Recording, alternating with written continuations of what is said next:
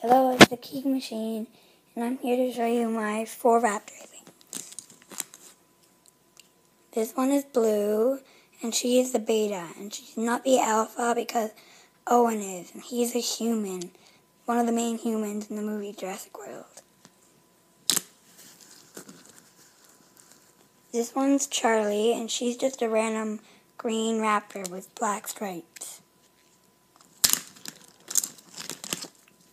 This one's Delta, and the thing I like about her is how she has green around her eyes and green on her nose. And she has sort of a blackish blue color stripes. And finally, you may have seen her before. She is my favorite, Echo. I don't know why Echo is my favorite raptor. Most people pick Blue because she's the only one who survives in the movie.